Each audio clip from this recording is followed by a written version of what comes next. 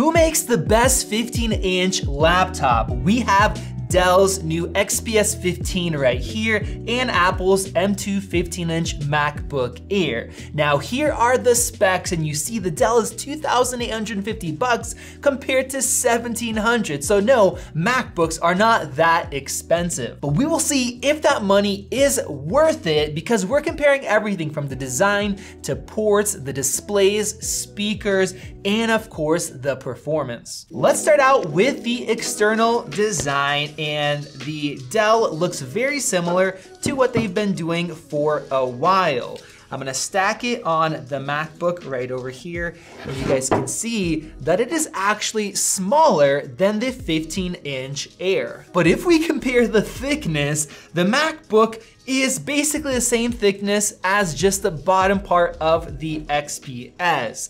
And if I hold them, side by side like this. The MacBook is so much lighter. We have 3.3 pounds compared to 4.4, but of course Dell is packing a lot in here, including an 88 watt hour battery compared to 66. Now we'll talk about battery life in just a bit, but of course the XPS also has fans built in for that powerful processor and graphics compared to the completely fanless MacBook. Now as far as ports, I love that we have the MagSafe connector on the MacBook. It will connect here. Very convenient. With the Dell, you just have USB-C for charging, but they give you this crazy big 130 watt power adapter, and that should say something about the performance built in. Now, both have two USB-Cs on the side. They are both Thunderbolt. And on the other side, we have headphone jacks, but the XPS also comes with another USB Type-C port and an SD card reader. Apple, why could you not build one into this?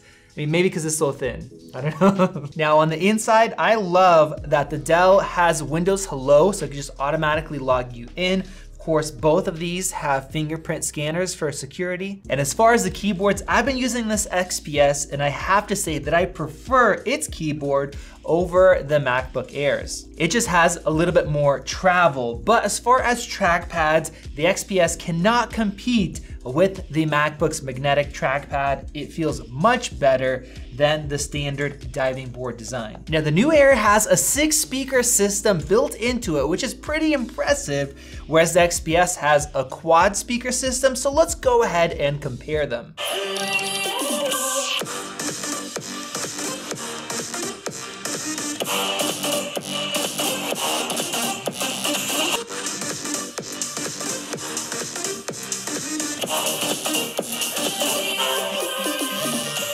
Wow guys, you heard that difference for yourself. I am impressed. This thing sounds so good, better than XPS 17s did in the past. So Dell listened, not only is it much louder, a lot louder, I thought I was gonna peak it, it sounds good overall. I would definitely take the XPS speakers. Now, as far as webcams, the MacBook Air has a 1080p webcam built in, while the Dell still has a 720p webcam. Let me know which one looks better and which one sounds better down in the comments. Now, as far as the displays, we have a lot of differences. Both of them are 16 by 10 and the Dell has these super slim bezels on the side is slimmer than the slim ones on the Air already, but the resolution on this Dell is really high. It's 3.5K compared to 2.8. Not only that, but it is also an OLED compared to regular LCD. Now, as far as brightness, the OLED hits 400 nits compared to 500 on the LCD, so it's a little bit less bright, but it has really good anti-reflectivity coatings to help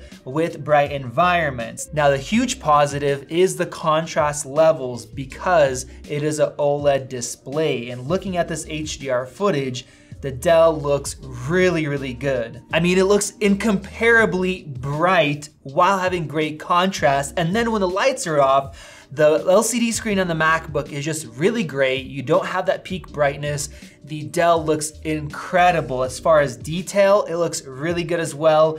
Uh, the brights just really pop. And then with that speaker system, I mean, this is gonna be a killer movie watching experience. And now let's get into performance. I'm gonna start out with an SSD speed test. We have one terabyte compared to 512. Now this one is the upgraded one, so you have your full performance. And one interesting thing is with the Dell, you can actually go up to eight terabytes compared to maxing out with two on the MacBook Air. And look at that. Oh my goodness, we just got the read speed in here. 7,137 compared to 3,466. More than what, more than twice the speed? Yeah. That's insane. And for the write speed, 6,300 compared to 3,400, close to double the performance. Wow, this is actually faster than like a 16 inch MacBook Pro impressive. And now opening up Geekbench 6 here, we see that we have the i7 13700H. This thing goes up to 4.8 gigahertz for the top, and we have 14 cores compared to 8 cores. We also have 32 gigs of RAM compared to 16, but I know from previous testing, 16 gives you full performance. And with the MacBook, you can only go up to 24 gigs maximum, but of course it is unified memory, so it's a little bit more efficient. And we have our scores here. As far as single core, the MacBook does beat it out, 2600 compared to about 2500, but multi-core, the XPS is beating out the M2 chip by just a little bit. As you guys notice though, the XPS is unplugged. Now I did have it in high performance uh, mode in the Windows settings and in the Dell settings, the extreme or ultra performance, but let's go ahead and plug it in and we'll see what we get. And look at that guys, that is a nice bump. We have 12,265 compared to 9894. The MacBook performs the same whether it's on battery or plugged in. So that's a difference of about 25%. That also tells us if you want maximum performance, well, you need to have it plugged in. Now, what about graphics performance? Of course, we have the M2 chip. This is the 10 core unbinned compared to the RTX 4070 built into the XPS. I'm gonna go ahead and start this benchmark here. Now, an interesting thing with this Dell, it's a 40 watt version of that. So it's a little bit downclocked for this thin and lightweight 15 inch design. Now the M2 chip uses roughly half of that power. It's very efficient, but let's see what we get. We have 45,607 metal score on the Air and on the XPS, 92,397 for the OpenCL. Um, that is what, double? A little bit more than double? Very impressive. And then unplugged, we have 82,000. So at that point, it is a little bit less than double, but that's still very impressive the drop was basically 10,000 going onto battery power, so it's still maintaining a lot of that performance. Now, what about gaming performance? I have 3D Mark's Wildlife Extreme Unlimited here, and it looks like we have 90.7 FPS compared to 41.3 more than double on the XPS plugged in. This thing is impressive. And then running it again on battery power, we have 68.1. Now, we constantly talk about performance when uh, it's on battery, and in this case, yes, that did drop quite a bit, but when it is still much more powerful than a MacBook, I'm not gonna complain about that, because in the past, it would be much slower, and it's a laptop. You're gonna use it unplugged, so I would say when performance is good, that is still nice. But what about some real world productivity programs? I have Blender opened up right here with the Party Tug project, and the speed difference is insane. The MacBook took 4 minutes 52 seconds compared to 58.9 seconds. Literally five times faster. And the crazy thing is when I unplugged it, it took a minute 13, and that's because of the RTX graphics and the ray tracing cores that enable it to be incredibly fast. And now I have Adobe Lightroom opened up with 50 edited high resolution images and shifting between these, looks like sometimes the XPS is faster. So far, it's winning it most of the time. We have that great performance. Of course, that super fast SSD. And now let's do an AI test Of course, the MacBook Air has that neural engine built in. So this is gonna try to find the background. and click it at the same time.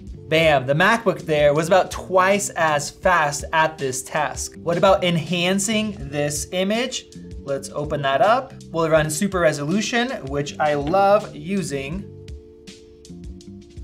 Wow, that was really close. The MacBook beat it out by about a second, but pretty close there. And now let's export all 50 of these edited images. I got rid of that extra one and let's see what happens. Wow, the MacBook seems to be flying here and it's the one that's on battery.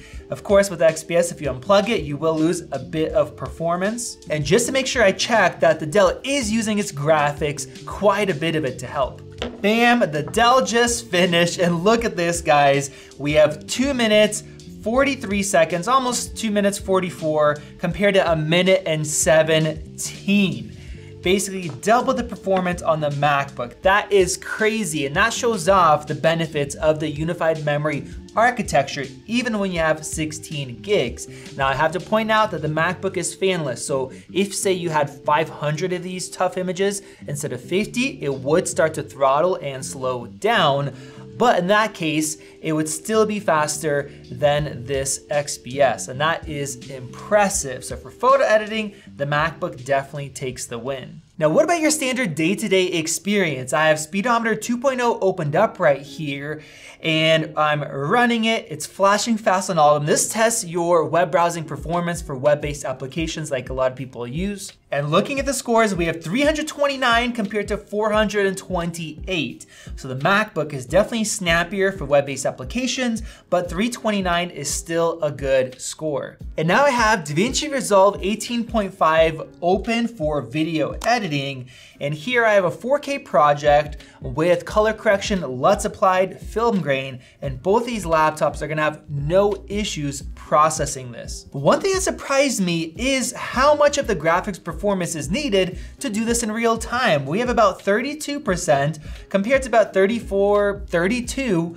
So the RTX graphics in this, well, your overhead and the extra performance you have for more effects they line up very similarly. And now let's go ahead and export this five minute project.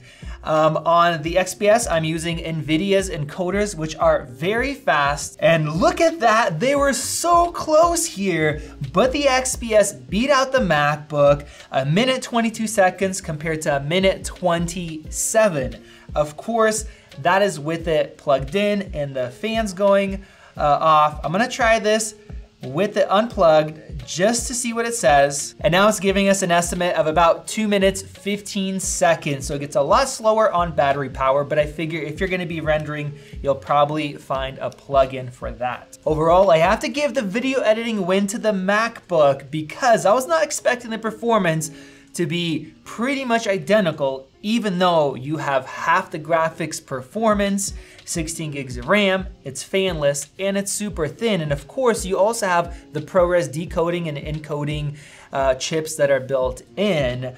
Uh, but the XPS has gotten a lot faster compared to previous generations. And now let's talk about the battery life. Our MacBook wasn't even 100% charged when we started, and now it's down to 50 after all of these tough tests. Whereas the XPS even though we only had brief amounts when we had unplugged, it's at 93%. This thing sucks power. If you're doing tough things like we were testing, you're gonna get two hours of battery life compared to about six to eight on the air. This thing just sips power. Now, as far as real world usable battery life, we're looking at six hours for the XPS and 12 hours of mixed use for the MacBook Air. This thing is super, super efficient. And another reason is the XPS not only does it use a lot more power for the CPU and the graphics, but the display also takes a lot of juice. And if you would go for the cheaper 1080p LCD option, well then you'll gain about three hours of real world